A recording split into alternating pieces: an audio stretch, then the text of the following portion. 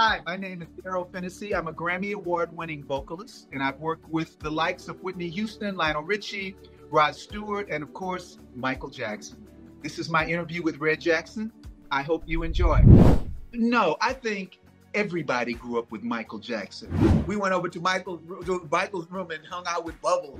And I have this videotape. As a matter of fact, I'll send it to you. Who's rich enough to have Michael Jackson bring this entire thing to their island to put on a you know a show for their nephew?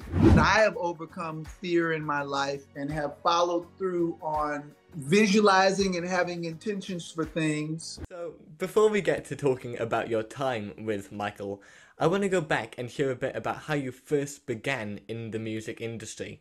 So, can you tell me a bit about how you discovered your talent for singing?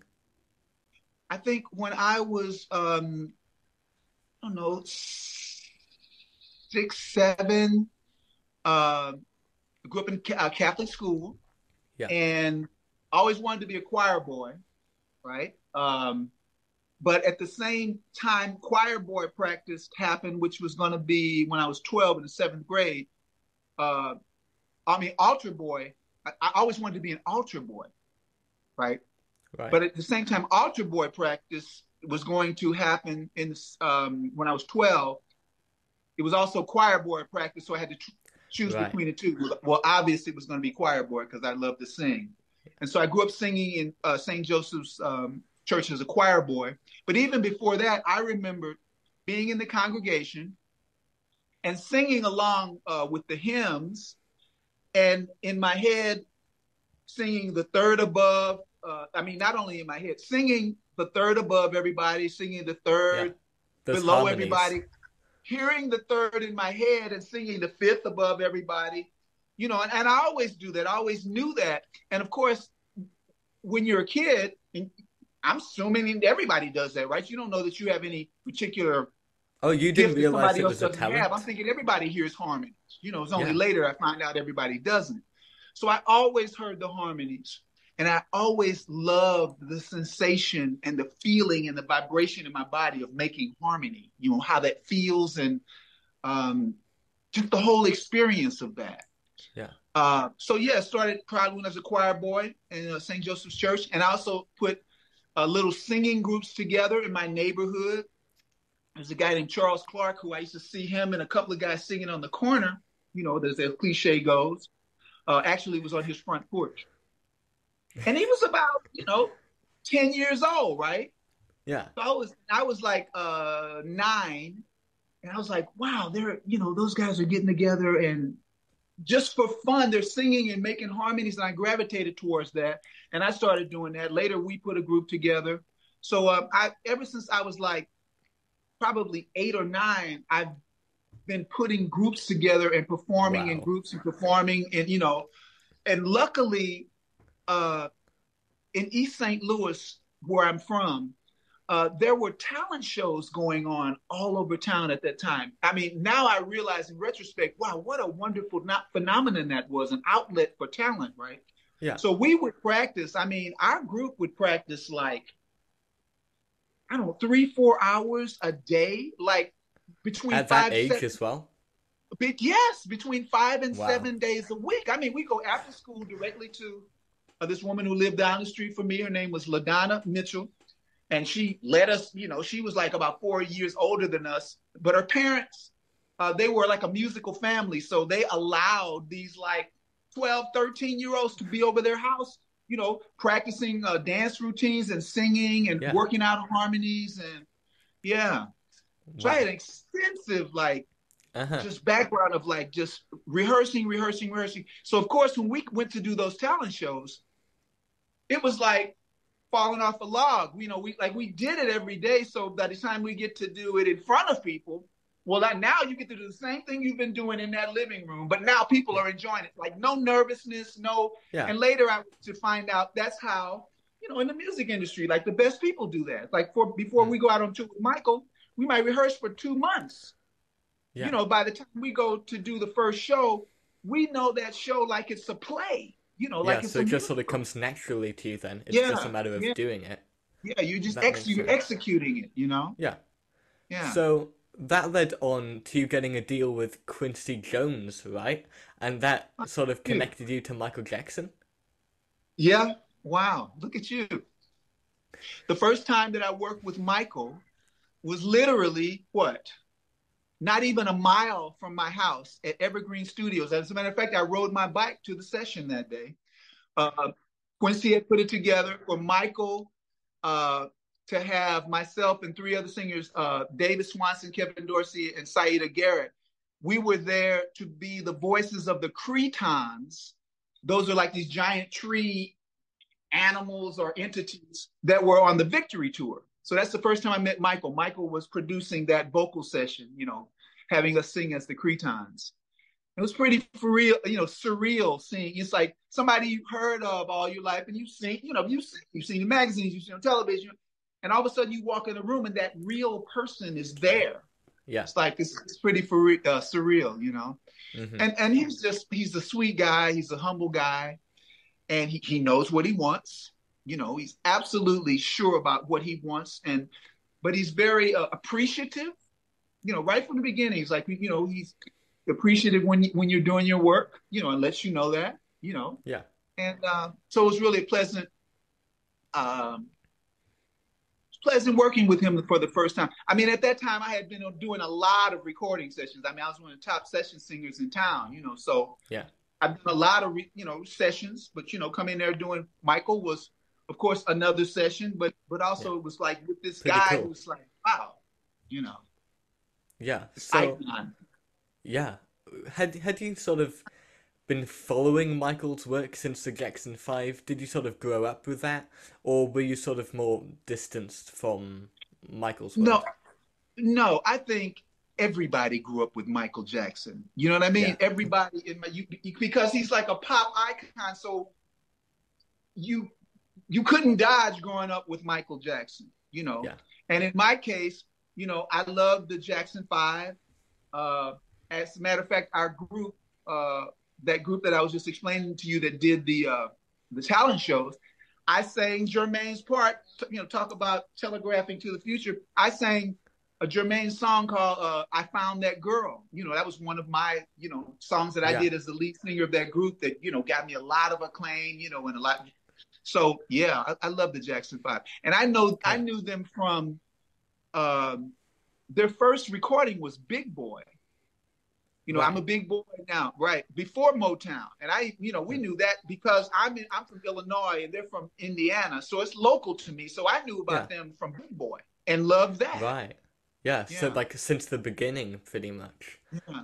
Yeah. Wow, so cool that how that sort of led to you know you collaborating with him for so many years. Yeah. So let's skip to the bad tour. What qualities was Michael looking for, you know, with the backing vocalists, whether that's sort of musically or within work ethic? Did you all sort of have similar qualities you brought to the table, or did everyone have sort of different attributes? So when you put, you know, everyone together, you excelled. It's interesting. I'll tell you the story. Michael put out an audition that was from a, the reason I got called for musicians because I was one of the top session singers in Los Angeles, and so other people of that ilk were called. There are people from New York, there are people from different parts around, you know, from the country who, for for varying reasons, were called to audition. And yeah. so, uh, myself and three other people, and they just kind of put us together as a group randomly kind of to audition for Michael. So I recorded with, uh, I, I did my audition with three other people. Uh, Greg Phillinganes was the band leader. So we came in to audition with the band playing there, which I thought the band was playing too loud. I'll be obvious. You know, I'm a singer. And so yeah. I have a singer's sensibilities different than a musician's sensibilities. They want to hear themselves. But the point is, mm-hmm. this is about Michael hearing the backgrounds. Yeah, so I thought they were playing too loud and he, and he and he chose two or three songs for us to sing together. One of the girls, I can't think of her name. She was kind of had like a she was very exotic looking, kind of like Hawaiian black mixture, uh, and she had like a uh, a musicals background, you know, so cause she so she could sing, but she couldn't sing harmonies. You know. Mm. But they were picking her for her look, not really kind of right. knowing the ins and outs of singing, right? Yeah. Anyway, and a couple of other guys, one that I had done sessions with, and another one who was new, who was kind of nervous. So when we did our audition, I did. I mean, again, I at that point I was at the top of my game doing that. So it's like I'm going, oh my god, I'm getting an audition for Michael, and it's like they're putting me with a group of folks. With those, yeah. We're not gelling. It's like I'm thinking, oh wow, really? You know. Mm. So anyway, afterwards, Nelson Hayes, who was the uh, assistant uh, tour uh, assistant tour manager, who was you know uh, videoing it, he said, okay, afterwards, he says, Michael wants to put you guys on hold. You know, he said, he said, we're going to put you on hold. Uh, he was filming the things and then later taking them to Michael. Okay. You know, like he was filming him and then like maybe two, three hours later, he take them to Michael. So anyway, he had called me and said, Michael wants to put you guys on hold, which I was surprised, right? Also, at the same time, for me, I auditioned for the Dolly Parton show. It was going to be like a variety show that the four singers were going to get to act. We're going to be on primetime television. We get to do skits with her. We get to sing with her. I mean, another big like, opportunity. Wonderful opportunity, right? They all, yeah. all this is coming. Why couldn't that come six months before, right? All of this is coming at one time. So I had put together. A friend of mine called me for that, who was already on that gig, and on. The, he called me, and I put together. I had the four of us, myself, uh, someone else who I got. I got Kevin Dorsey, and he already had two other guys. I taught them this song Jukebox Saturday Night, which is like a 40s song that um, think the Glenn Miller band made popular. Uh, and I taught that okay. to them, and we got that audition for Dolly Parton, and they wanted us to be on the show. This is the same week of Michael's thing, right? The next right. day, I, you know, auditioned for Michael. So when Nelson told me he wanted to put us on hold, I was like, ah. I said, Nelson, yeah. I don't want to be rude, and I'm not trying to be pushy, but I've auditioned for the Dolly Parton show and already got that, but I'd rather go on tour with Michael. Can you tell me what you know? He's you say he's putting on hold us on hold. What what he, what's going on with that? He says ah, he said you know what you should take that gig because Michael Michael's not sure what he wants, or, or I put it this way: it's not that he isn't sure what he wants. He wants a group like the Modern Modernaires, who was uh, Elvis Presley's Elvis, yeah. uh, backup group, right? And I mean, at this point, I'm kind of racking my brain because these two excellent opportunities, and I'm thinking yeah. to myself, you know what? Here's a here's I want to impart this information to Nelson because it's just kind of a burning thing that singers want to do, or it's like musicians or producers don't necessarily know the idiosyncrasies and ins and outs of singers, right? Yeah. So I told him, I said, Nelson, why doesn't he get like the Waters? You know, that's a group that's you know he that's have worked with him before. He said, yeah. well, he just wants somebody younger, you know, younger look. I said, okay.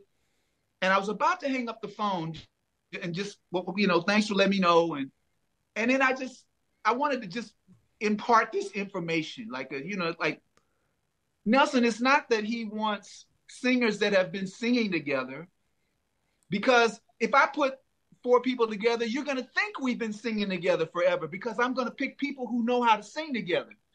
Because I just I just had a burning need to say, why don't you know that, right? Yeah. Right. You and had the said, balls to say that. Yeah. Right. So he went, well, why don't you do that? Oh, I went, okay. So, and I wasn't doing it for that reason. I was just was just doing it like just I just needed it. to purge that, right? Yeah. So I then called Kevin Dorsey again, Sheryl Crow, and Dorian Holley, brought them over my house, taught them that song, Jukebox Saturday Night, that 40s song. Yeah. Uh, and then we did excerpts of Michael, about five of Michael's songs. Off the Wall, Beat It, um, let's see, uh, Thriller, uh, songs that would show like the diversity of his kind of music that would show that the eclectic nature of his that would cover that right? Okay. So and i said i i taught them those I, uh, we, we rehearsed those songs and when we went over to the rehearsal studio i said nelson no band just have us in the, in the rehearsal room just in a you know like in, in a like a small rehearsal room that's like soundproof put the camera on us and just let us sing. No microphones, no nothing. Just let us sing in the room, right? And that's how we had rehearsed it. So we introduced ourselves. And, and I have this videotape. As a matter of fact, I'll send it to you because you're you're Please interested, do. Michael. I'll send you that audition. Thanks so, So- much. Yeah. We introduced ourselves and we started off with Jukebox Saturday Night. Okay, Darryl. Hi, Mike. I'm Darryl Phinnessee. Dorian Holley. Hi, Mike. Hi, Mike. I'm Sheryl Crow. Hi, Mike. I'm Kevin Dorsey.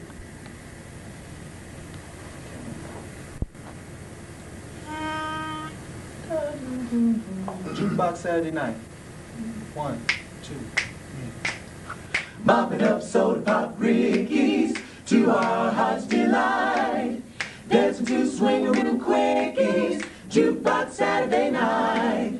Goodman and Kyser and Miller help to make things bright. Mixing hot licks with vanilla. Jukebox Saturday night. They put nothing past us, me and Honey Lamb. Making one coat last us till it's time to scram. Goodman and Kyser and Miller help to make things bright.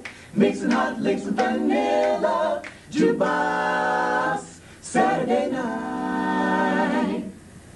All right. It's like a closed chord harmony song. It's like a 40s. Uh, it's like the kind of song that all singers can't sing. There's only certain level singers can, you know, hear those kind of harmonies and stuff. Yeah. And I said, I know that Michael will appreciate. First of all, he's eclectic in his choice of. And I picked this song, right? That's a 40 song, something. So we sang that song first, and then we did the excerpts of the other songs, all a cappella. Because I knew that I've been a musical direct. I mean, I've been like the mu- I w- we weren't calling it that when I was kids, but I've always been like the musical director of groups that I've been in, and that's Yeah. what I would know that I would like to hear to know that people knew it. So I said, Yeah. this is going to show him.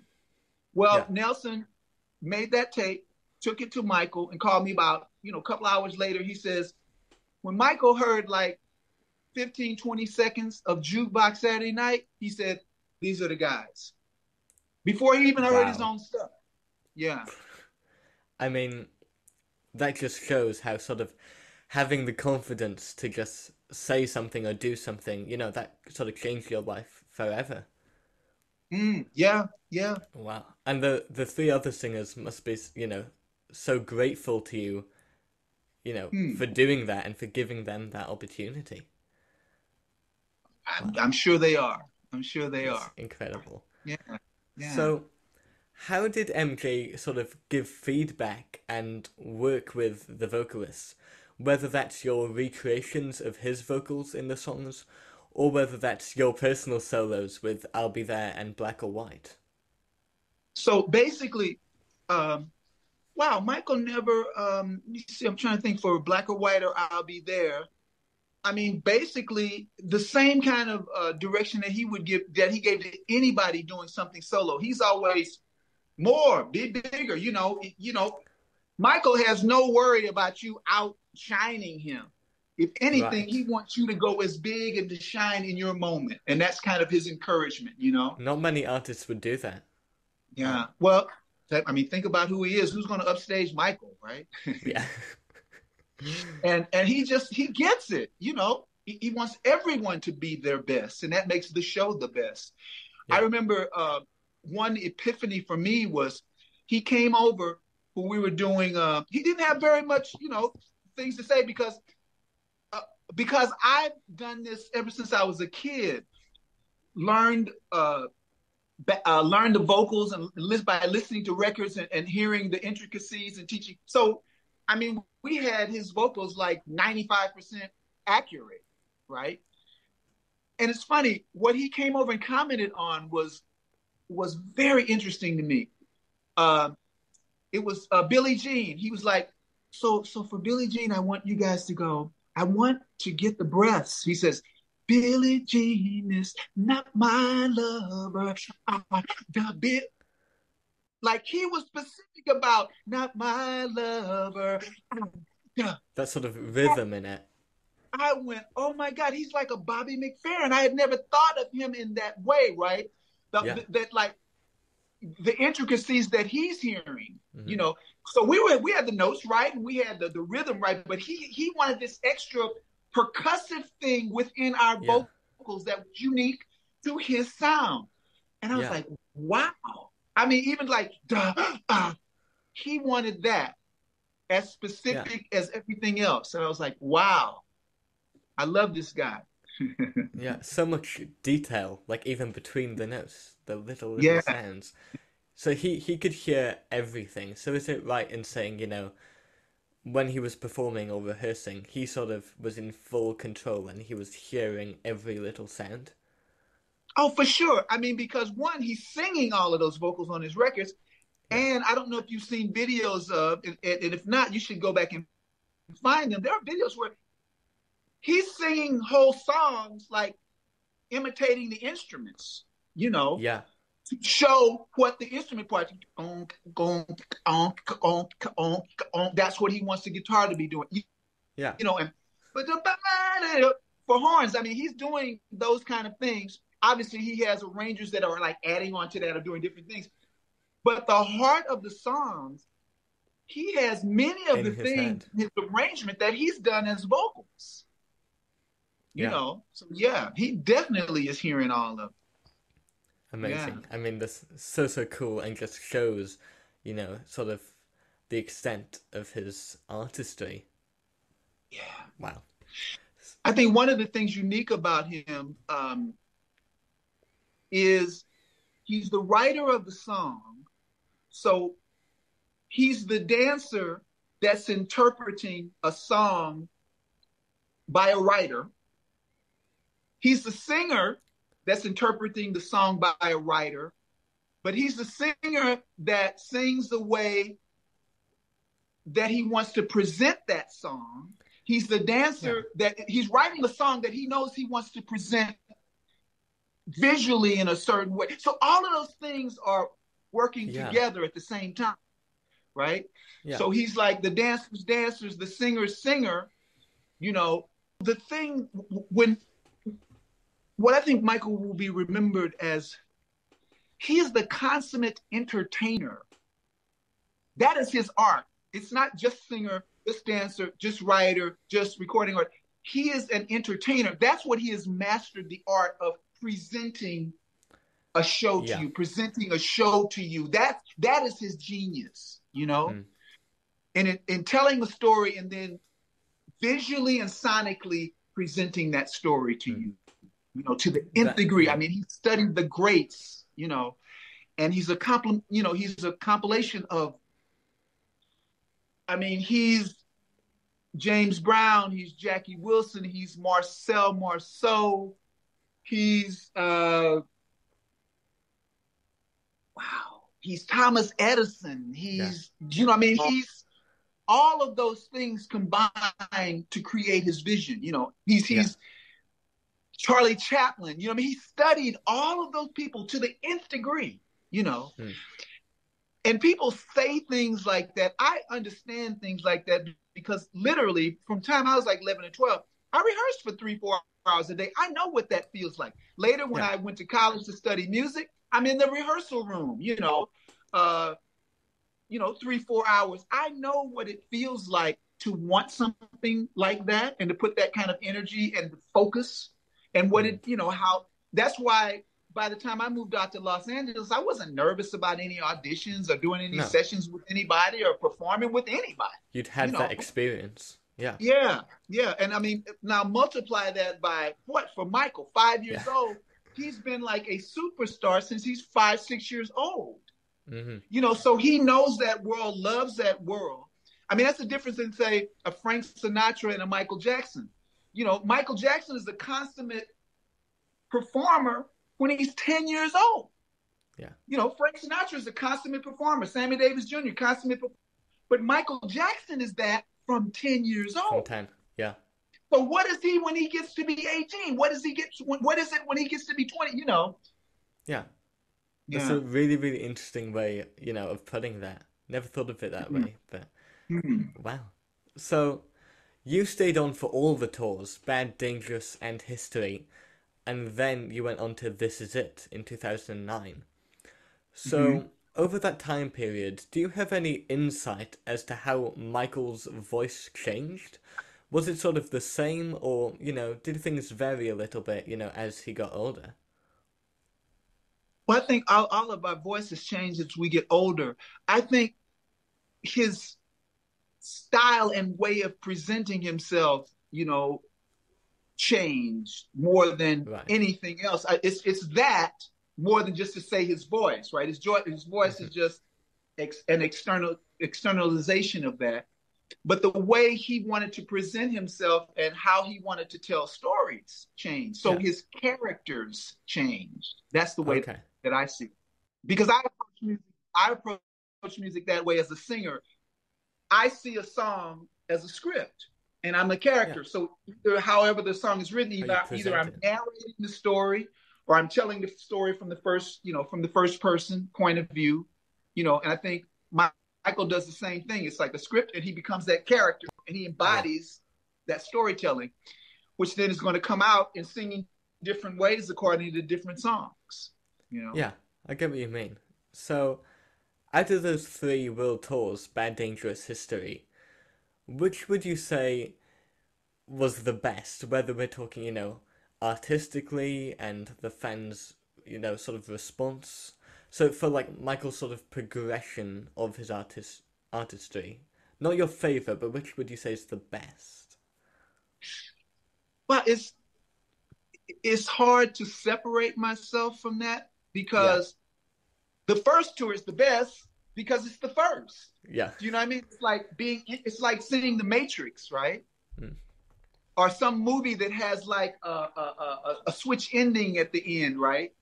The first time, did you do you know the movie The Matrix, and do you like the I movie do. The Matrix? I do, I do. So the first Matrix is the best because now yeah. you're being introduced to the entire world of the Matrix, which is a yeah. very unique and different story. After that, you know the Matrix, and now you're going further into it. But to go from no Matrix to Matrix is the best, right? Yeah. So to go from no Michael to performing with Michael, that's the best. Yeah, big leap there. Yeah. So after that, what it is for me is, is I saw the progression of his artistry.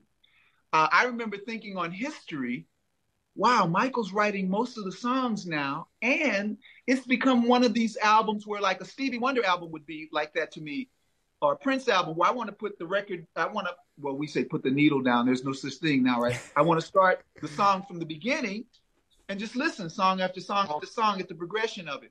I found myself by the time Michael got to the history album, I wanted to listen to his album like that.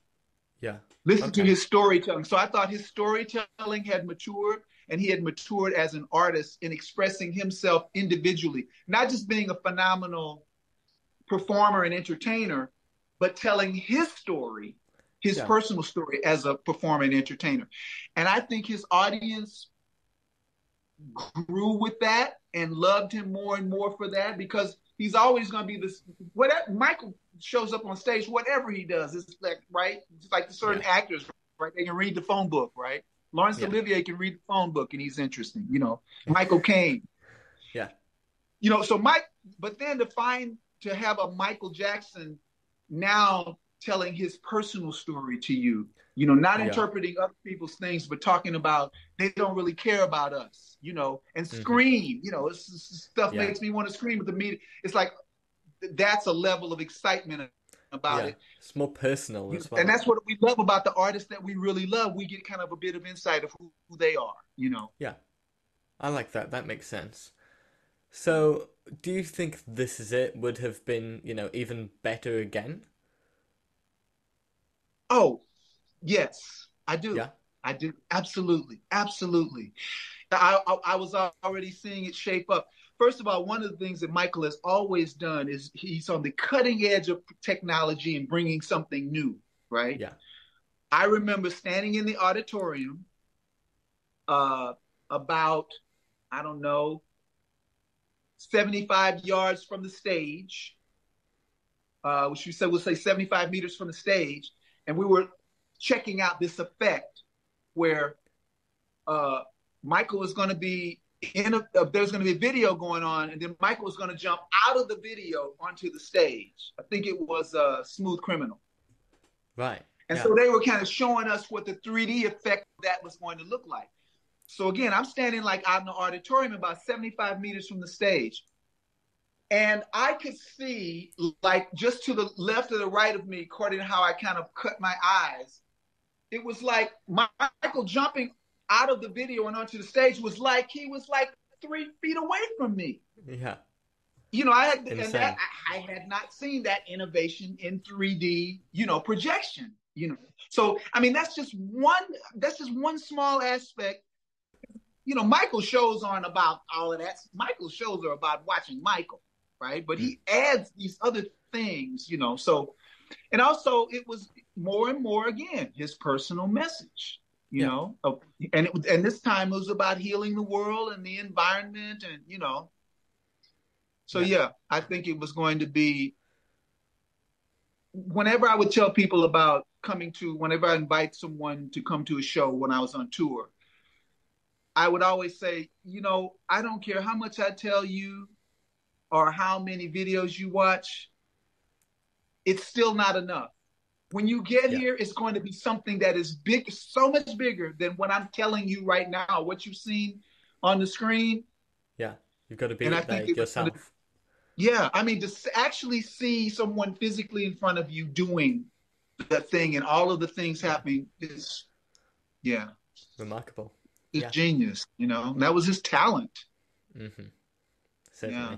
I mean, he can physically do things that people, you know, that a lot of people can't do. I mean, he's, you know, he's an exemplary human being, you know, yeah. in his his body and his, you know, his voice and you know, his just his understanding of how to present that is that's yeah. really his genius, you know. So you performed the Royal Brunei show in 1996. Do you remember anything sort of notable about that and how it differed from the other concerts? Well, I mean, as far as the presentation of the concerts, we're doing the same thing. You know, we're we're delivering that because we're bringing everything. Uh, you know, the stage and every. Literally, we could put Michael's show up and did put it up in like a farmer's field, right in Austria. Yeah.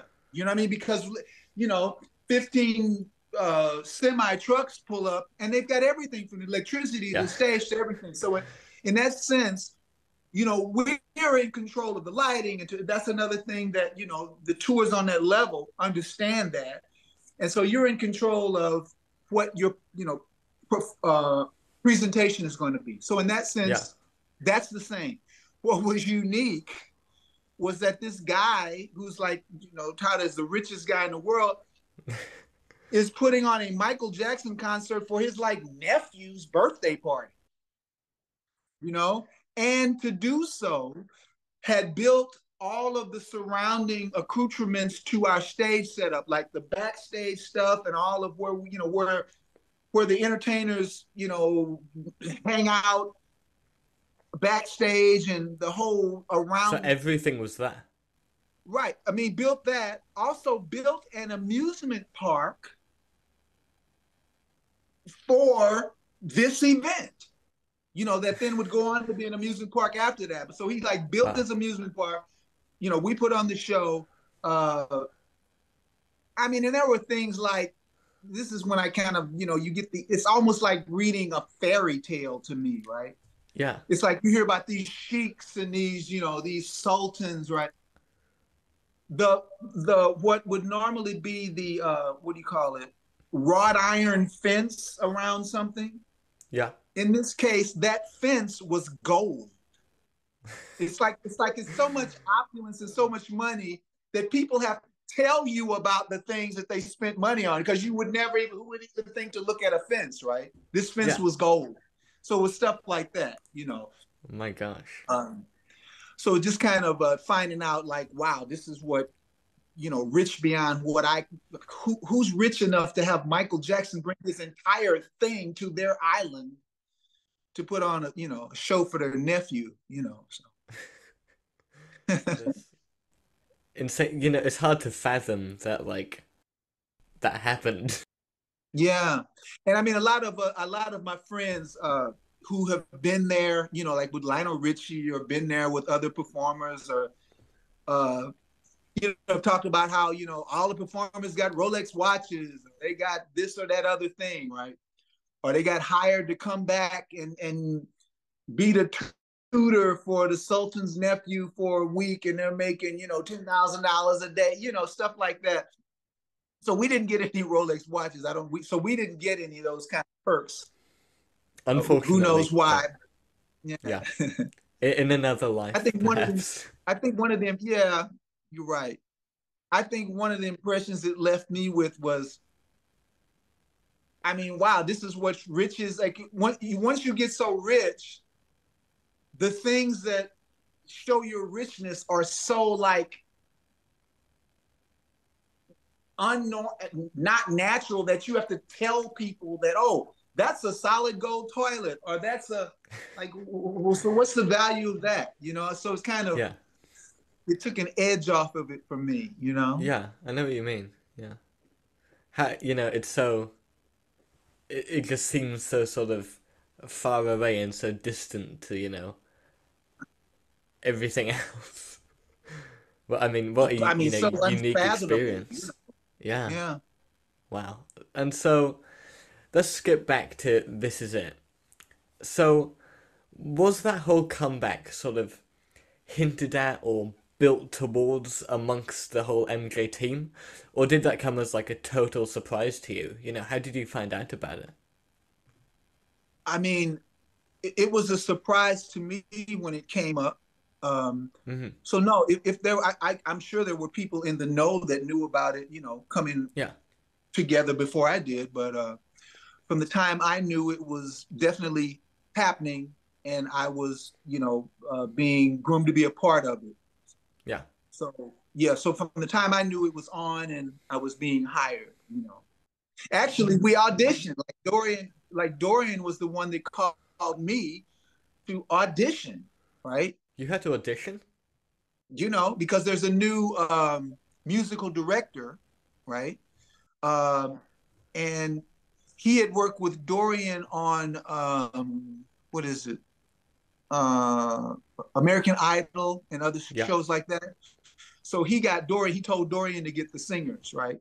And then so we put the singers together. I guess it's like a formality.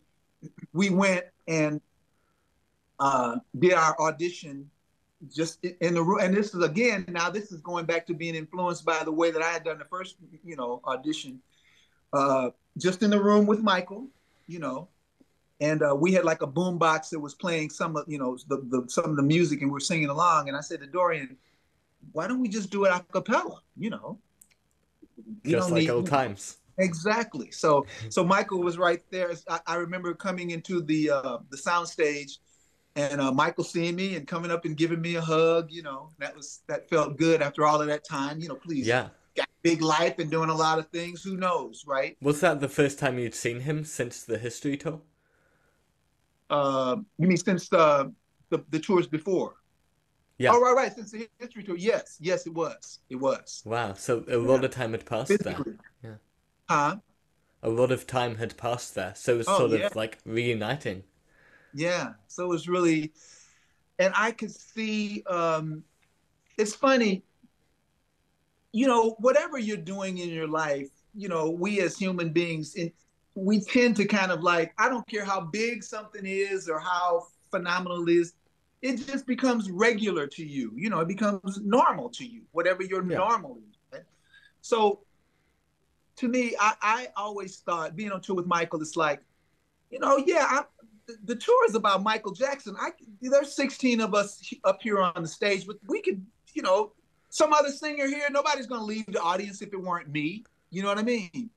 And so I kind of never really, I, I know what, you know, I know what I bring to it and I know, you know, that I'm excellent at what I do, but it's not like if I want to be on stage, anybody's going to not come to the show, right?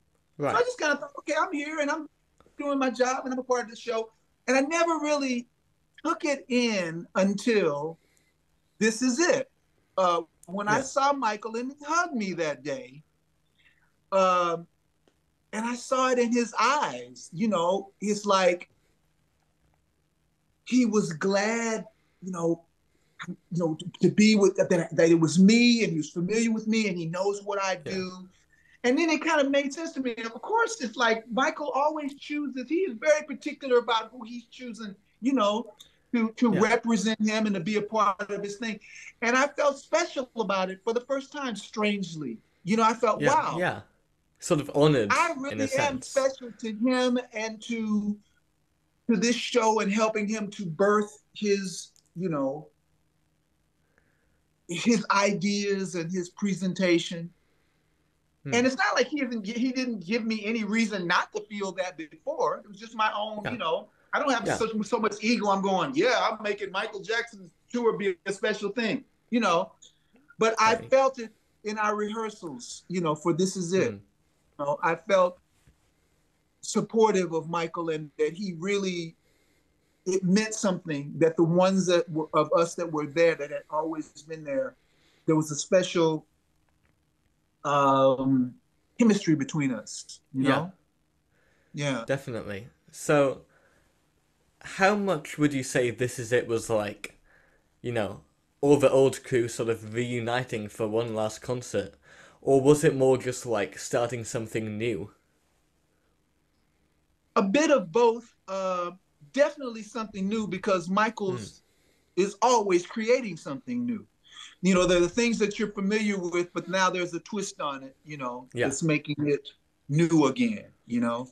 Mm-hmm. So, and there's, you know, so day by day, right? If you watch the movie, this is it. It's like day by day, it's like, oh, first it's like the dancers are, are acting like they're coming out of the toasters, right? We call them the toasters, the thing that they yeah. pop up pop up, pop up yeah. from under the stage, like these elevators, right? These accelerated elevators.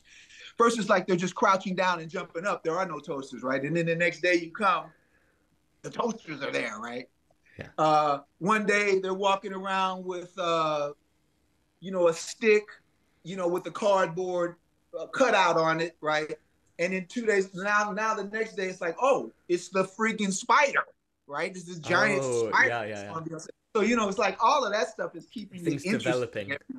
Yeah, yeah, yeah. And it's like you know, then the one day you come and it's like, oh, he's gonna be jumping out of the video onto the stage. And like I said, a thing I was talking about earlier, where they had a stand like you know, I was like three quarters of the length of a football field away from the stage, and I see the 3D image of Michael like he's like three feet away from me. It's like I had never, I, I hadn't seen any video innovations like that, like any 3D yeah. innovations like that. So, yeah, those things are constantly reminding you, oh yeah, as as as cutting edge. Much of a yes. I'm sorry. What yeah. word did you just say? Cutting edge. Yes. Yes. Yeah. Yeah. So you know, obviously, this is it. Didn't eventually come to fruition.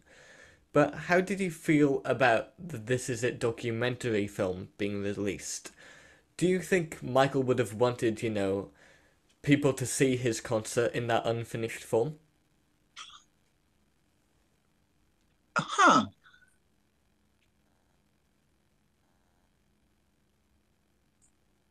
Ultimately, yes. Yeah. For, it's funny. I've never thought about it in that way. The way I've thought about it is, wow, what a great gift to his fans. I mean, to me, it's the most exciting way to see it. It's like I'm more interested in that than I am in the show. Who gets to see that? Right? Yeah.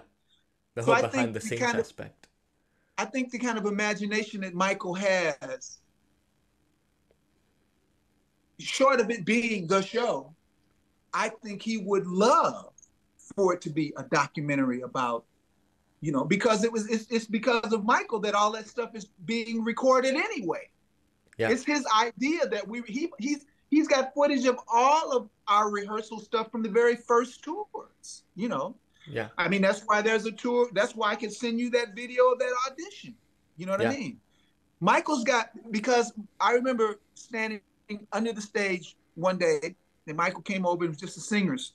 I think it was like maybe Dorian and myself and and uh, we are taking a break, and he was saying, "The reason I film everything, he said, I want to film everything because I don't want anyone to ever be able to say that this didn't happen.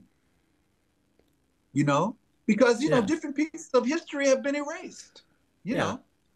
And so he says, I'm going to document all of this You know, so it's because of Michael's, you know, the way he thinks that this is it was recorded anyway. So yes, I guess the answer ultimately would absolutely. I think he would love that because it shows his fans a part of a side of him. Like like most of his fans doesn't know that Michael is coming up with all of those, you know, the large majority of those ideas, and is in yeah. on the execution of, you know, this this little detail or that little detail. So yeah, absolutely. Yeah. yeah, I agree with you. I think you know it's really important for the fans to see sort of the other side of things because there's not much out there like that. You know, it's cool to see Michael in the process of creating. So you tell me, because I'm an entertainer, yeah, you know, and I know the back, you know, the backstory, you know, the what we do in the background. To me, it is just ultimately fascinating to see that. That that's like yeah. that's the best. I'd rather see that than a concert. Right. Yeah. That's me speaking from you know from this side of it. So I'm interested. How do you feel about that? Yeah, I think I see both sides, of course, but yeah. yeah. I do like to see, you know, the whole process of creating, you know, what goes into it, how it developed, you know, seeing all those clips of Michael and how he sort of worked with his team. I think that just gives us as fans a broader idea of who he was and how, you know, how he did what he did and his sort of genius. Yeah, I mean, I would have loved to seen Rembrandt painting Whistler's mother. You know what I mean? Not just to finish. I would have loved to be in that room and watch a fly and watch how he was layering it and what you know and what he was thinking and yeah, yeah. to me, wow, yeah, that's Definitely. what I think it is. You know. That's fair enough. And so, obviously, you toured with Michael you know, on all of the world tours, and he went all over the world. And so, do any particular countries stand out to you for being, you know, perhaps unique or having interesting audiences, or maybe even being particularly intimidating or anything like that? Well, because of my personality, my personality is I, I am eclectic, right? I draw from a bunch of sources and things. So yeah. To me, it's the juxtaposition of, of having come from Marbella, Spain, you know, on the um, the uh, the Spanish Riviera to the next day being in Moscow and it's cold. You know, it's like yeah. just the juxtaposition of coming from one culture to the other culture, to different food, to different attitudes it's that that is exciting to me the, the, the change from one to the other to the other and appreciating yeah. each thing for what it is and just like a kid just like a toddler just being in wonder yeah. and not judging what i'm seeing but just being in wonder oh wow that's how they do that here that's how they do that here you know like japanese audiences they sit they don't jump up and they don't you know but but they they after the concert is finished, they file out. They're calling out the order of the row and they're leaving in order and stuff. But they're absolutely fanatical about Michael. You know what I mean? Yeah. Just to see how different cultures show that, you know. Mm. Um, so it's the differences that that are interesting to me, not any any you know specific. I can't. Specific oh, ones. Of course, yeah. I love Paris, but I love Moscow. I love uh, Tokyo, all for different reasons. You know. Yeah. Yeah. That's fair enough. Yeah, that whole sort of diversity aspect of it. Yeah. And that's my personality. Somebody else is going to tell you, "Oh my God, I love being in Paris." You know, I, for me, it was. I'm just taking yeah. it all in and going, "Wow!" And that's what they do here, and that's what they eat here, and wow, look, give me one of those. You know, how are you eating yeah. that? What do you put on that? You know. That's so, what I love. Let's say you went back and sort of relived all those tours with Michael, is there anything you would have done differently at all? Huh. Uh, you know what? I can start to, you know, we always have like this perfect plan in our head of what we plan to, to do, right? And then life happens yeah. and it's different. Than, and I think yeah. what I've come to appreciate is anything that I would have changed would make my life, you know, watching those like um, time travel movies, right? Yeah. Would make my life different right now. I love Yeah. my life right now. You know, I love meeting you and you're interviewing me right now. I love that this is my reality. And so all of it had to be the way it was, you Mhm. know, to bring all of this about, you know? Yeah. You know, my relationships with my friends and with my kids and grandkids and all of that is because of the way that it happened. So, you know what? The way that it happens is larger than I could plan or imagine. And I like it that way, you know? Yeah, I think that's a really So, sort of no, I good way cha- of looking at it. Yeah, I wouldn't change anything. Yeah. When when you think of Michael, does a particular memory or a particular anecdote just come to mind? I, I was telling you about it a little earlier. We were underneath the steps on stage. I think it was Dorian and myself. And when he was explaining of why he was taping the tour, you know, why he was taping rehearsals, but he was also talking about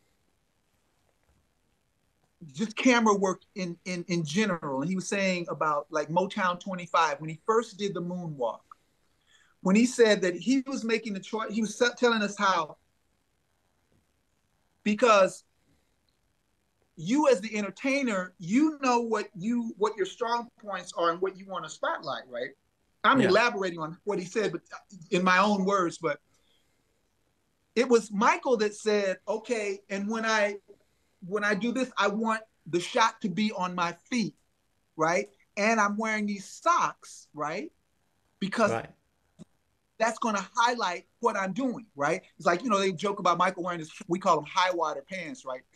Pants that are too short, right? And then you Yeah. can see the socks. But that's because, that's for Michael, that's because so the person at the back of the stadium can see his feet, can see what his feet and legs are doing, right? Yeah. And so Michael's like, he says, he was making the choices. He was saying that it's like, you know, I I forget exactly his words, but basically he was saying, I was telling them, okay, on that point, I want you to shoot my feet, right? And then I want you to shoot right after I do the moonwalk. When I, when I do certain part piece of moonwalk, I want you to then shoot the reaction. I want to have cameras to shoot the reaction of some people in the audience to that. So he it's was like a wow, filmmaker. This, this kind of really informed me about it's just how he's seeing the whole picture of it, right? Mm. Not just how he's presenting it, but how he wants it to be shot to present it. You know what I mean? How elaborate that his mind was, was in seeing that, you know? Yeah. And um, yeah, that like again, when like when he came over and showed us that thing on Billie Jean, that kind of like, whoa, wow, he's hearing the vocals because I do that. I sing like when I write songs, I can I can play keyboard, but I do it better with my voice. I'll sing the part of horns, I'll sing the part of the drums, I'll sing the part of so I completely appreciate hearing that he's doing that, right? So I was like, wow, I didn't know that he did that. And when he came over and showed us that, that was like, wow, that was an epiphany for me. And then when he was talking to us under the stage about uh, Motown 25 and the whole idea of recording what what's going on so that it won't be lost to history and recording it from your own point of view so you're helping to tell your own history which then later right then he comes out with you know his tour is called history and his album is called history so it's all kind of Yeah. saying his you know how he's taking all of that in His impact as well. Yeah. Yeah. So he, you know, it's so interesting to hear how he had that vision and how he just sort of controlled everything, even where the Mm. cameras were, like a filmmaker. That that's You so know, so it- cool, and it shows you know the extent to which you know how far he went. you know, and it also is is kind of revealing to show, you know, how far you can go, you know, how Yeah. far I can go by realizing, oh, well, if I if I yeah, control is a strong word, but let's use control. If I take control of my presentation, right? It's like it's like it's a simple thing of me sitting here so that you see my pyramids, which I shot, by the way. I, that's my picture. You did that, Uh, when I went to the pyramids. It's like- bravo. you know, you only get one chance to. Uh, I'm sorry, what'd you say? Bravo. Oh, thank you, thank you. I mean, you only get one chance to make a first impression. You know, uh, an entertainer. obviously you're present. We're all presenting ourselves to other people. You know, our whole lives, whatever you're doing. But an entertainer, particularly, is doing something that they're saying, "Look at me when I do this thing." Well, Michael has thought that out to the nth degree. I'm going to create a world of this story that I want to tell you. And I want that story to appear to you the way I envision it to the nth degree. Yeah. I mean, that's what his genius is, you know, uh, because people kind of leave some of those uh, elements to chance of what that's going to be, you know. Yeah. Michael is thinking about and studying from all the all the greats all along. Yeah. You know, how do you create this illusion? How do you create? Oh, and I just recently found this out. I didn't even know this. I found this out from one of the fans. Michael innovated the uh, the device that allows him to lean uh, smooth criminal. Yeah. You know the thing where they lean forward Yeah, like the link. that. Yeah, for sure. Michael came up with how to do that. I mean, that's the kind of stuff that you don't, you know, Yeah. realize about. It's all those things that make someone great. And I found that out about a lot of people that I've worked with, right? Yeah. It's like I went to work with James Brown, and it's like during the break, you know, in rehearsal, James Brown sits down and starts playing the B3 Hammond organ. I didn't know James Brown played organ. You know what I mean? And I found that out about many, many entertainers. They've got Yeah. all of these other Different talents. and things that yeah. yeah, that make them, you know, when you when you meet them, you go, wow, that's why Madonna is Madonna, or that's Yeah. why, you know, yeah. Wow. I mean, it's interesting to see, you know, they have sort of multiple talents that gets them where they are. But, you know, another icon is Bubbles the chimp. Did you ever get to meet him? I did. A fact, I went on a date, and we went over to sing, and you know, we went over to Michael's to Michael's room and hung out with Bubbles, right? How did that go down? wow, uh, one of the things I found out is chimps are uh, extremely more uh, strong than human beings. Yeah. So like you know, like his trainer was like, you know, just kind of be careful because he's strong. And I mean, when, when I grabbed his hand, I mean, he was like, I don't know, maybe three, four times stronger than I am. You know, so uh, that was that was when I think about Bubbles, that was the thing that kind of I didn't know, and that kind of that's my biggest impression. But he was cool to hang out with. I bet, I bet. so, why do you think, you know, Michael Jackson resonates with people so, so widely? Wow. You know, the older I get, I mean, I've always loved kids, right? But the older I get, it's just more and more. I mean, I I can be in a mood and then just see like a toddler just doing the simplest thing, just walking.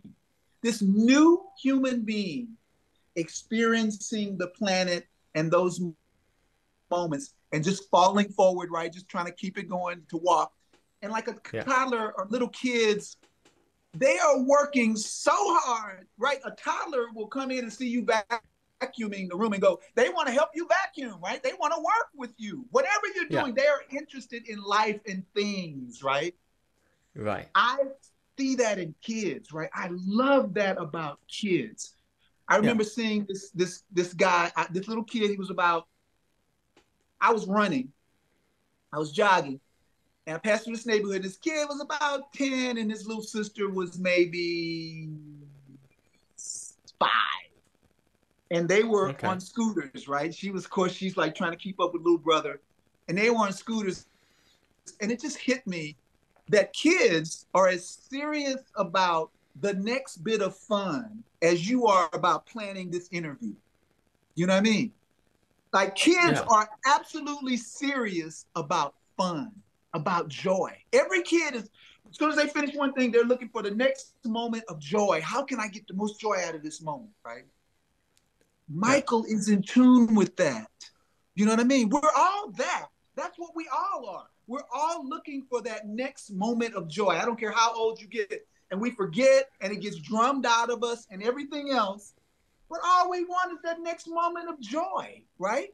And we want to see it in the other kid across the uh, across the playground's face. We want to see them having fun. We want to Yeah. have fun and we want everybody else to be having fun. Michael is in tune with that. And he wants to channel that joy. And he does channel that joy. You think about something as simple as the moonwalk. The moonwalk is basically sliding across the floor, floor backwards, right? Yeah. Why is that exciting? Why is that why is that muscle movement exciting to make people scream and pass out? Because I guarantee you, as exciting as the world, anyone in the audience thinks that is, multiply that by a thousand. And that's how excited Michael is when he's doing Mm. it. Because he really gets he's into that thing and he's he's going, oh my God, he's making his body move a certain way. And he's feeling the excitement of that. And that's all we give to each other. We give each Yeah. other our how do I feel about the words? Like how how animated I am right now. I, I'm giving that energy to you. You can't help but take that energy off of me. I'm shooting that energy to you, right? Think about what Michael is doing in a moment, right? I'm talking about something that's exciting to me, so I'm animated. How animated is he when he's moving his body backwards or doing those moves and knowing how freaking cool that looks and how cool it feels, right? And he's shooting that energy to you. He's shooting that energy out to the whole audience. Mhm. And and the reason I began by talking about toddlers is because he's in tune with that. That he's in tune with that very. It's like a certain part. If you think about it, you have friends, and I have friends that can only go back to. You're 16 now. I bet you have some friends that can only go back to 10 years old, or can only even go back to 14. Right? They're too Right. cool to go back to three or four. Oh, right, right. And you have other friends that are like, ah, they're like the three or four year olds.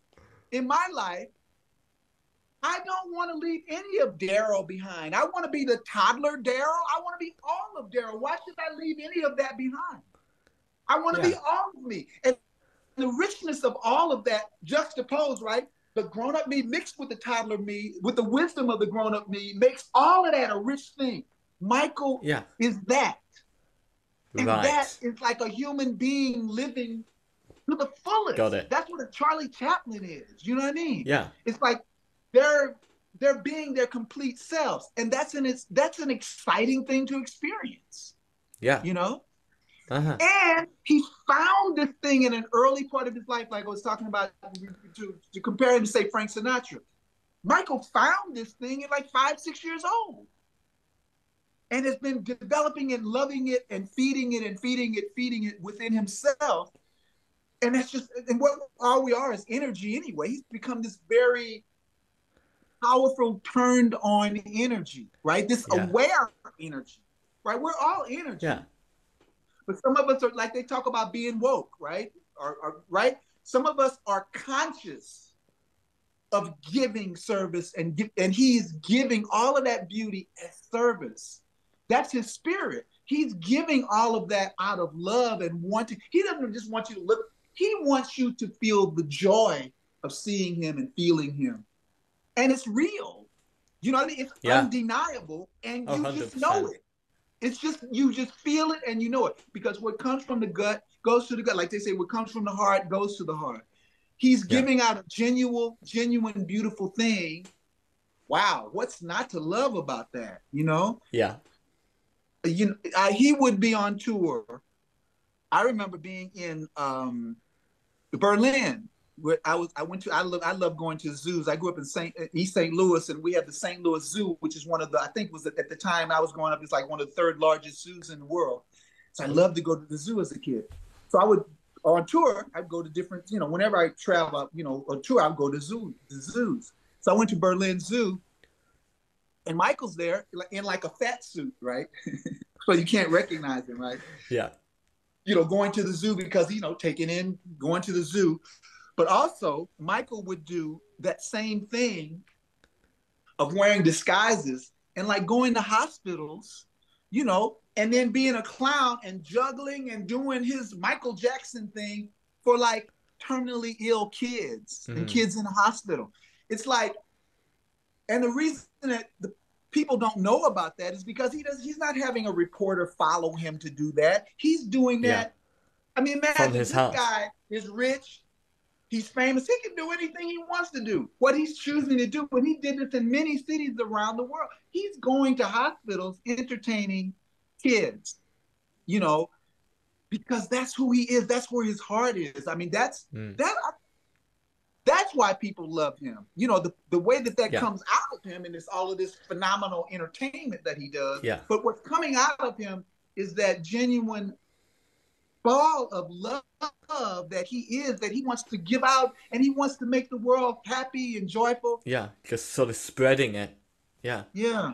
I mean, it's wow. It's it's a real thing, you know, yeah. and we feel it. It's like you feel it through the internet, right? You haven't even met the guy and you feel it. Yeah. You know, you feel yeah. it because what we we talk about this in the entertainment industry, what you put into a medium is what people get out of it. So you're joyful when you're having a recording session, that joy is coming through your voice, it's coming through what the guys are playing. That energy that you're feeding each other, that harmony that you're feeling to make that music together is all going into that recorded medium, you know? yeah. as energy. And then it's coming off of that to the people that are listening to it or watching yeah. it, you know? Yeah. yeah. Wow. I mean, that's such an insightful answer and a really, really unique way of putting it. But I just think you're, you're so, so right there. Absolutely. I think Michael definitely, you know, had that special gift about him. And it was that, you know, just sort of transferring that energy to other people, to the audiences you know, and it's it's universal. We all want to be that. You know what I mean? Everybody yeah. wants to be happy.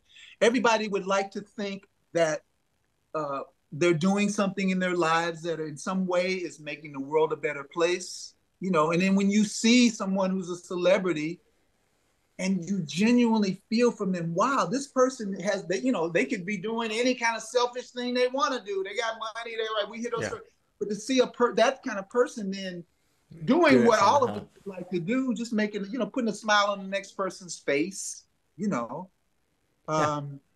It, it, it's funny that you asked that is because I would be, you know, in the, in in a concert, you know, we get to heal the world, right? A man in the mirror, and that's when all the lighters go up, right? Across the whole stadium. I'm going, all of this phenomenal music that Michael makes we're like on Heal the World, right? This simple song, right? Man in the mirror. But that's like the whole audience is saying, we love it. We love this. We love, you know, and he has the little kids come out on stage, right? And they're just walking around in a circle, holding each other's hand around this globe. And they're talking about heal the world. This almost makes me want to tear up right now. Yeah. Every now and then it happens. When I yeah, think yeah. about him. Take your time. Take your time. That's what the man was about, you know? You know, I mean, would there would that there were more people in the world that were about that, you know, yeah. from whatever thing that they do, you know, to offer that, you know. Yeah. Yeah. Thank you so so much, Darryl. Hmm. Before we continue with the interview, let's take a quick break to thank the sponsor of this video, Michael Jackson Market. MJ Market is a business created by passionate fans who believe that all Michael Jackson fans should have access to rare and unique collectible items at a great price. They source the items from all over the world and they provide a great buying experience. I have two of their t-shirts myself and they are really, really high quality, and so I personally recommend them. They offer monthly boxes too, which are packed with fun items. For this month, they're offering a box based on Michael Jackson's Dangerous, which includes one of four t-shirt options, a cup, a poster, a bag, and some 8x10 photos, along with some other exciting surprises. So if you'd like to get some high quality Michael Jackson merchandise for yourself, head to www.michaeljacksonmarket.com and use coupon code REDJACKSON for $10 off. Once again, that's www.michaeljacksonmarket.com with coupon code REDJACKSON to get $10 off. So thank you once again to Michael Jackson Market for sponsoring this video. What are your general thoughts and feelings towards the upcoming Michael Jackson biographical movie? Do you think, you know, that's a good idea? And is there anything in particular you'd like them, you know, you'd like to see? What would you like audiences to see featured in the film? Huh. Um, I don't know much about the movie. I know that there's a, a play, a musical, yeah, that I've been hearing highly, you know, recommended yeah. by different friends and people that I want to go and see. Um, I think some of the things that I've talked about to you uh, about how I see Michael and what I appreciate about Michael. I would like to see the filmmaker bring out some of those aspects of him, you know, yeah. Um, from you know the fact that he's a humanitarian and yeah, you know, but, but just to kind of, I, I don't know, you know, I, I would like to see a filmmaker well, I guess they bring out those aspects of, of who he is, yeah. you know, and highlight those things. You know, it's, it's, it's, funny a lot of times in the news, which I don't watch because, right?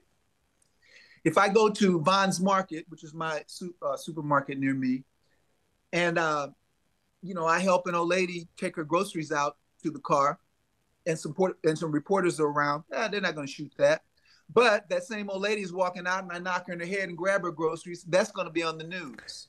Yeah. That's why I don't watch the news. Both of those things are newsworthy. Matter of fact, the fact that you help the other person is actually more newsworthy. More. Why not yeah. put why not influence people with that's what the world is like, right? Yeah. So, you know, it's like who, who knows where this element comes from that that pushes on us that what people want to see is something fearful or something the lower side of what human beings are I don't agree with that. You know, I would like no, to see yeah. wonderful things be newsworthy, you know, and influence yeah. people to that end. So I would like to see a filmmaker, you know, tell the truth, but tell yeah. that side of the truth. You know, the, the truth is what what what is what what are you looking at? What what where are you coming from? You know, to call what you're seeing the truth and how you string those things together. You know, I'd like to see someone string together just a, a composite of Michael that just really explores the person and and really kind of brings out uh, you know every film you know the filmmaker is manipulating you right to to see his mm. point of view you know yeah. i would like to see the point of view be an inspiring message you know yeah. that i would like to see the point of view to say see what this person where they came from and what they made of themselves and, and why that person is what they are what can you take from that and put into your own life and look at your own experience and how can you benefit from that you know yeah, how can you draw of, from that and go this is how i can be better this is how i can you know yeah like inspiring other people through that yeah yeah yeah i like yeah. that yeah that's really sort of that's really respectable and yeah definitely mm-hmm. sort of feeding into what Michael's whole message was, you know, with yeah. positivity. Like Men in the Mirror, the whole sort of message of that. Yeah. Yeah. Yeah. Let's let's move on to discuss some of your current work now. So I've heard that you've been working on your solo EP. Is that something, you know, you've always sort of wanted to work on, or was that more of like a later decision for you?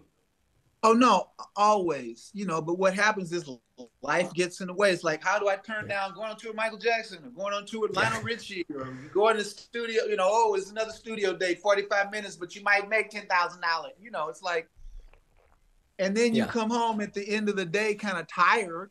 You know, because I mean, at one point, I mean, I'd be doing as many as four sessions a day. You know, something on movies, something on television thing, a couple of records. You know. Yeah.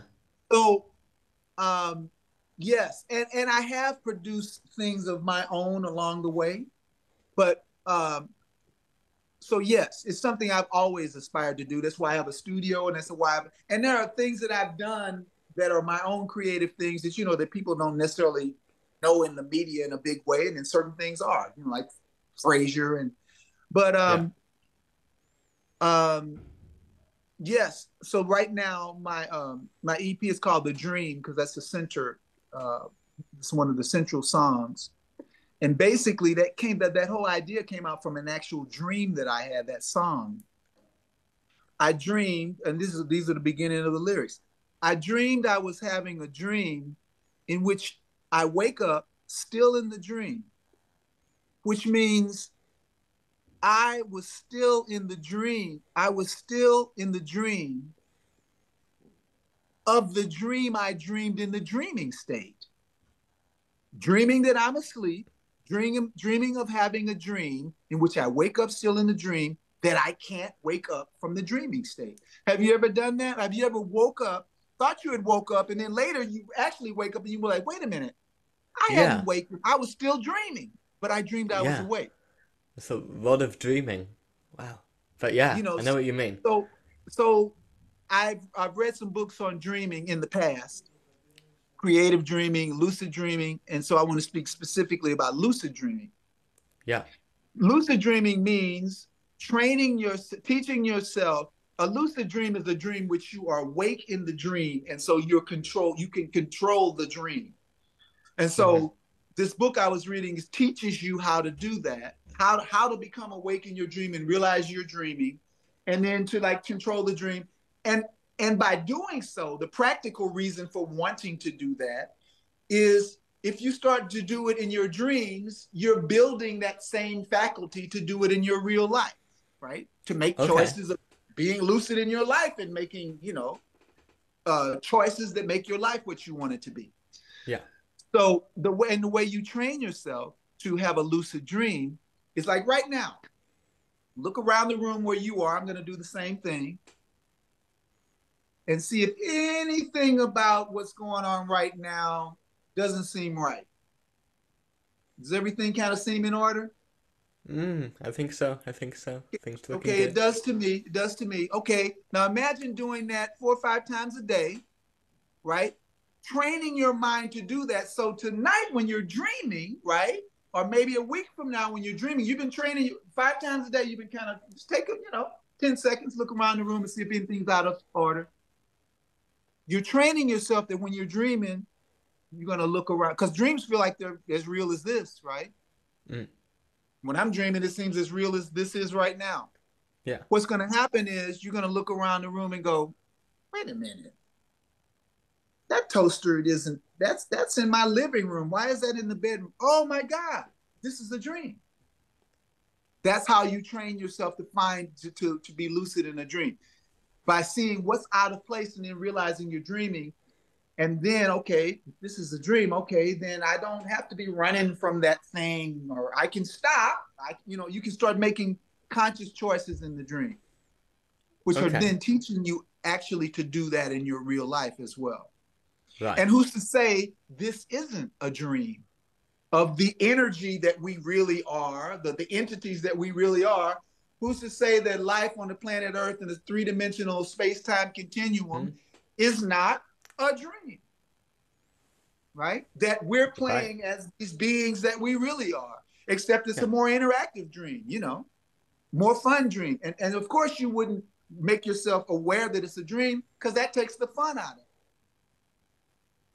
You know? Anyway. Yeah. So that's what the song The Dream is about. Right. Yeah. And about thinking of if this is a dream, then let me take control of it more. Let me make some of those yeah. decisions. Let me conquer some more of my fear in this dream, things mm. that I'm afraid of. Let me let me push the envelope on something I'm afraid of, you know? Yeah. I like that sort of it takes, you know, a really sort of interesting idea and yeah. Mm. I think that'll be interesting in, in song form. Do you have any sort of like idea as to when everything will be complete, or are you just sort of going with the what I'm looking for, for uh, April, April for to come out with. Awesome, yeah. awesome. You'll have to keep in touch, so All I can right. you know send everything to the viewers. Yeah, I And will. so you've had such a wonderful and sort of diverse career. Did you did you ever envisage that you'd end up where you are now, you know, right at the beginning of your career? Are you somebody who sort of planned your career path out and sort of was determined to follow it? Or did you sort of go with the flow a bit more? Because you must be, you know, so proud of, you know, how things have gone. Well, I think it, I, I think I mean I had a plan. I mean I wanted to come out here and be like you know a recording artist and and an actor. You Yeah. know, uh, I've done some of both of those things, but then life comes in there in different ways. I mean, one of the things I wanted to do was travel around the world performing. You know, and wow, I've gotten That's to do that in the biggest way possible, right? So, I think I think that we, this is my own feeling and theory. I think we are creating our own, we're co creators of our own reality with the all that is. And I think to the extent that you believe something, you're bringing that thing to, to fruition. Uh, I'll say it in two ways. To the extent that you believe something and you emotionally invest in that thing. For instance, if you're afraid of something, that's believing in it. Your body and your emotions are believing that fearful thing, and you're bringing that thing about. And I think a large majority of what uh, the average person is bringing about in their daily life is a whole lot of stuff they're they're fearful of, on on all the different levels of fear. And think about again, if I help the old lady with her groceries, that's not going to be on the news. If I hit her in the head and run off with the bag, that's going to be on the news. The news is full of fearful stuff, right? It's like Yeah. we're being controlled by a bunch of fear. You know, I think that's the only thing that we really, I think the ultimate thing to overcome is fear. You know, Mm.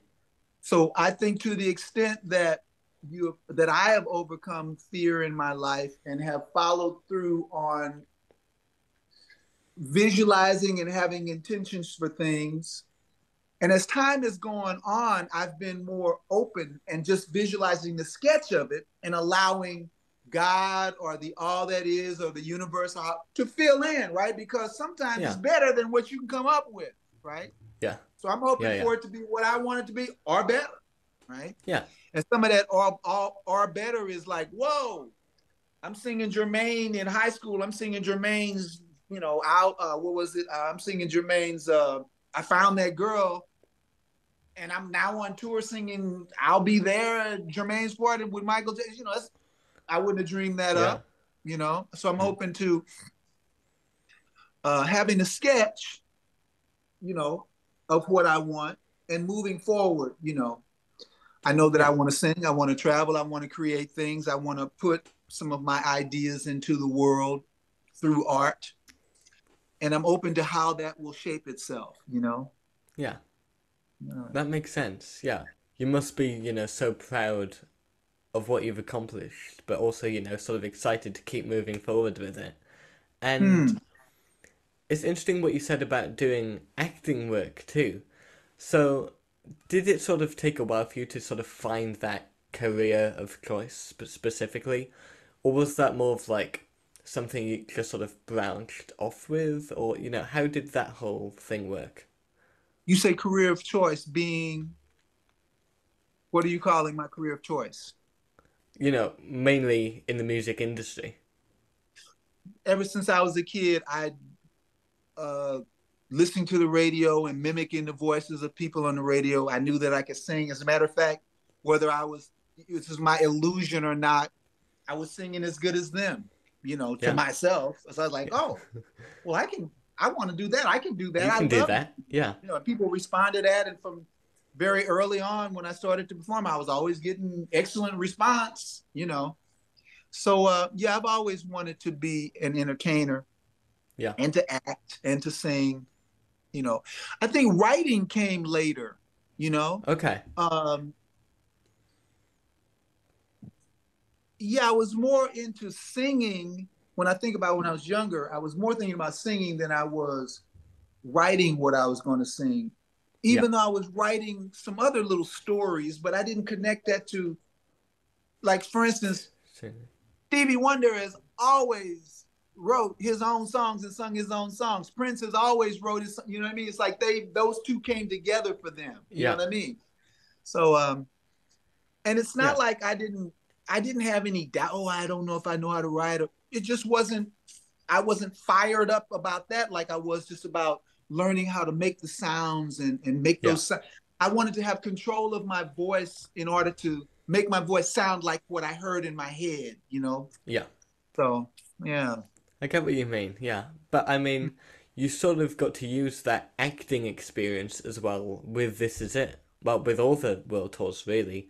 we got to sort of play characters and use props and costumes, etc. Yeah. You know, and I've been, a, I, I've, you know, I did a, a television show called Cop Rock. It was a musical. It was on for one season.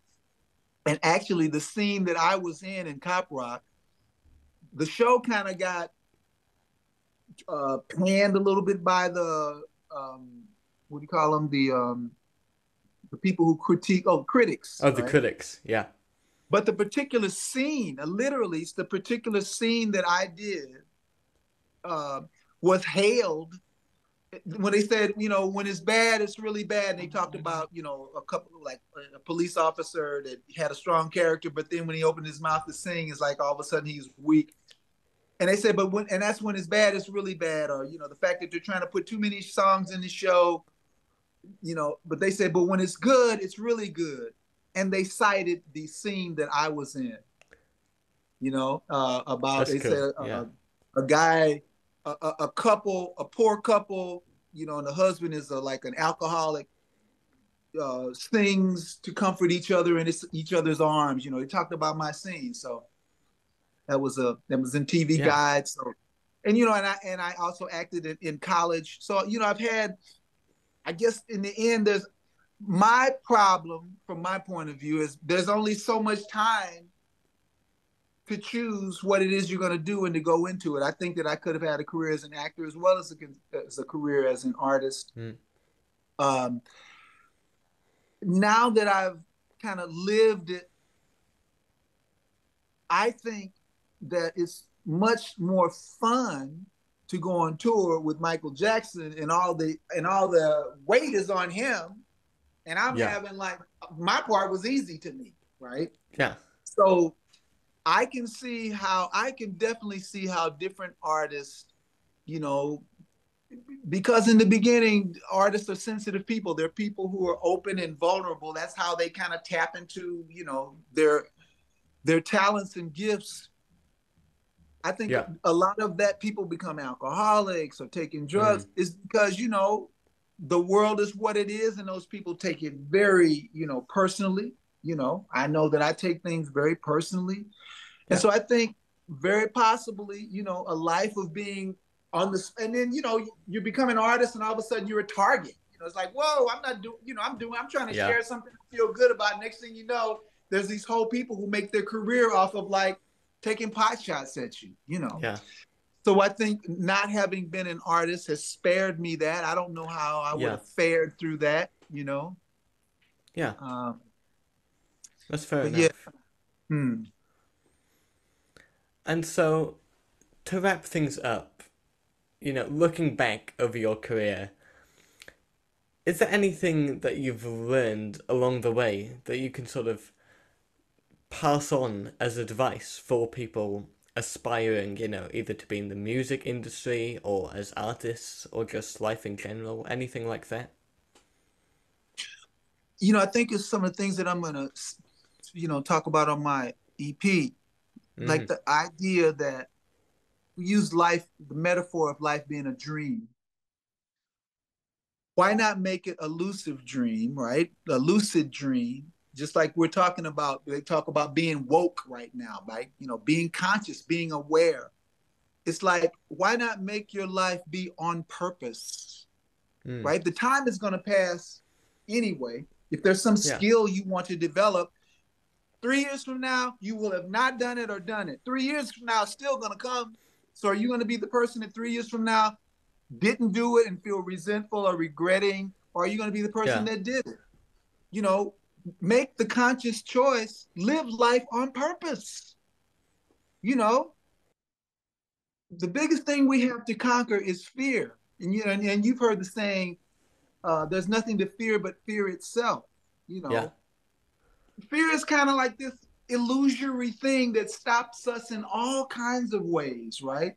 In your own life, your fears are really kind of daunting to you, but you can look at someone else's fears and see how th- that aren't your fears, right? And go, wow, if they could just see past that, they could do this or that and the other.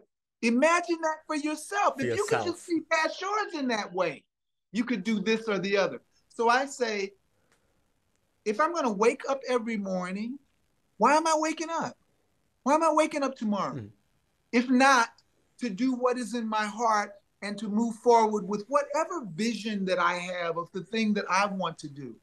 And even if I don't have a strong vision of what I want to do, why not meditate or pray or whatever you feel that is, ask the universe for what that is that you are Mm. you know that would be your vision i think everything in nature is made for a purpose a cactus is not an elephant is not uh, a banana you know each thing in nature has a unique thing to do you know Yeah. we all of these uh, relationships are symbiotic plants give off oxygen we're breathing out carbon dioxide there is a purpose for you to be specifically who and what you are. What Yeah. would be more important than finding out what that is and moving forward with that?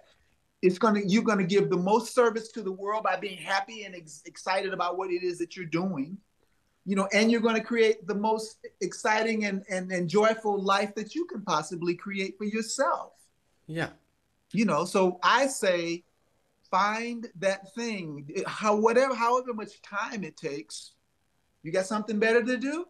Find that thing that makes you excited and put your energy and your focus and your space and your time into that thing. Because if Yeah. you don't you'll be doing that in someone else's life. You'll be doing what they found is their thing that they're excited about and then they enlist you to be a part of theirs. Right? So Got it. find what is yours. And that's going to be a part of somebody's and part of other human beings anyway right? But yeah find the thing that excites you and what makes you want to get up in the morning you know Yeah. That's really, really, really good advice there. I like that a lot.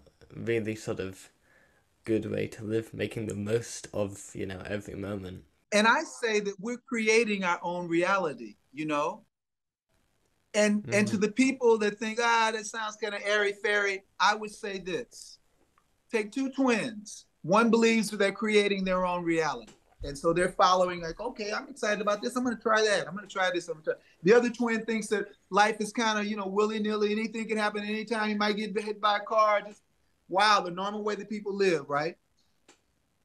Both one of you know so take both of those twins. When they go to an interview which one of them do you think is going to get the job?